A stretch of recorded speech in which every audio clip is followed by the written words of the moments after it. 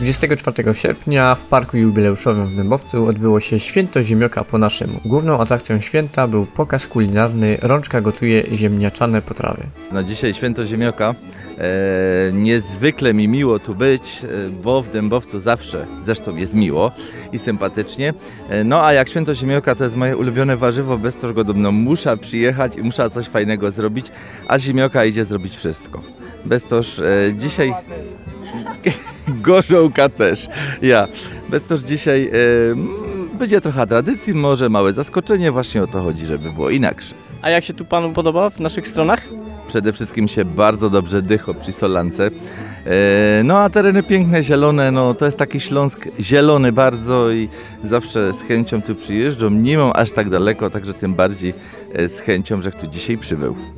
To już trzecia impreza z cyklu Kulturalne Dziedzictwo Śląska Cieszyńskiego.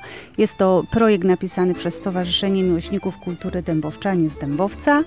Y, Cały projekt jest dofinansowany z lokalnej grupy działania Cieszyńska Kraina. Y, Dzisiejsza impreza to Święto Ziemniaka. Gościmy pana Remigiusza Rączkę oraz pana Józefa Michałka, który będzie opowiadał o serach, natomiast pan Remigiusz dzisiaj gotuje potrawy z ziemniaka. Szereg atrakcji miały również dzieci na dmuchanych zjeżdżalniach, trampolinach, gokardach i kulach wodnych.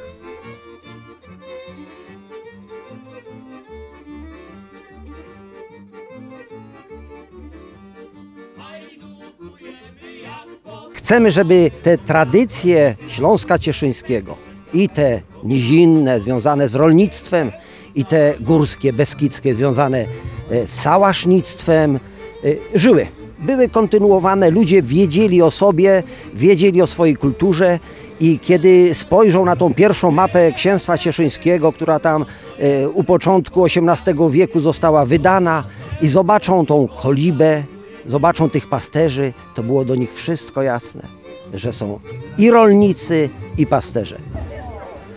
Soli? Majranku jeszcze nie, majranku nie, nie. Nie, bo do chałupy nie dolecą. Jo złoto.